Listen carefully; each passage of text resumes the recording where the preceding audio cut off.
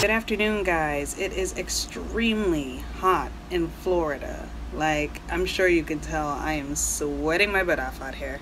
I remember in one of my Q&As, someone asked me if I used Anki or Firecracker.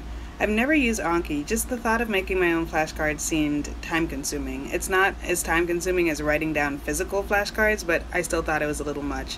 I did used to use Firecracker. I had a membership with them in my basic science uh, semesters, the first two years of med school. Now that I'm officially in third year and soon to be preparing for shelf exams, I emailed their customer service to ask them, like, maybe since I'm doing this med school vlog thing now, maybe I can get like one of those discount codes that other vloggers get. And they said, yeah, here's the opportunity. You can get a whole year, an entire 365 days of your subscription for $150. For people not in med school, $150 might sound a lot, but no, not at all, not in the slightest, not for what this program offers. So let me show you what they offer so you can see it.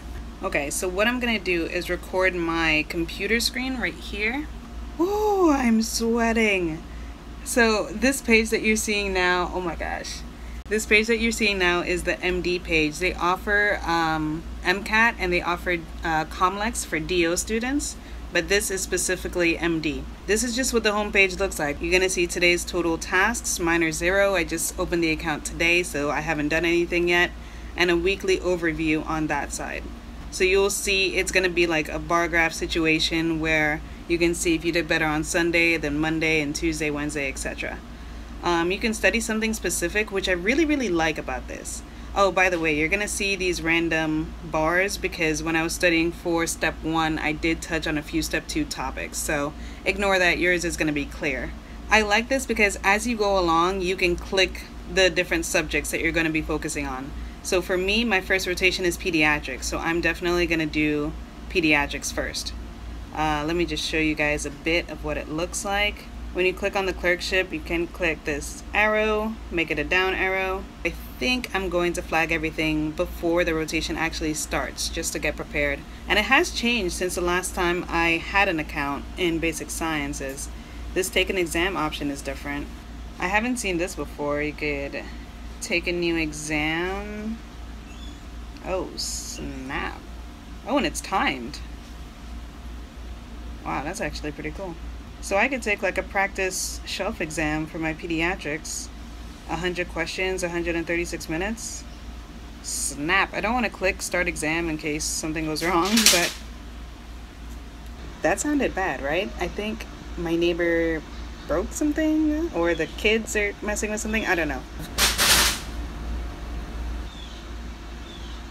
There's smoke now.